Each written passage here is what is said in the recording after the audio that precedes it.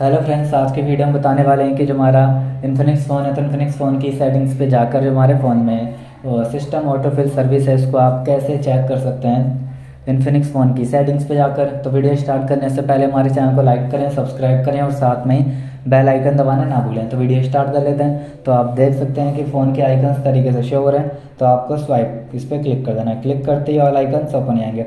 फिर आपको सेटिंग्स पे क्लिक कर देना है। क्लिक करते ही फ़ोन सेटिंग्स ओपन आएगी। ओपन होती है आप देख सकते हैं कि जो हमारी फ़ोन की ऑटो फिल सर्विस है, उसको आप कैसे चेक कर सकते हैं सिस्टम सेटिंग्स पे जाकर? तो आपको यहाँ सर्च कर लेना है ए सेटिंग सर्च करते ही हमारी फ़ोन की ए सेटिंग्स ओपन ही आएगी। तो ये हमारा ऑप्शन आएगा system setting auto fill service पे जाएँगे। इस पर जाते ही हमारे पास ये ऑप्शन आ जाएगा। तो यहाँ से आप ऑटो फिल सर्विस को यहाँ से चेक कर सकते हैं। तो जो हमारी ऑटो फिल सर्विस है ऑटो फिल सर्विस गूगल पे हमारी सेट है चेक है। तो इस तरीके से अपने ऑटो फिल सर्विस को आप चेक कर सकते हैं अपने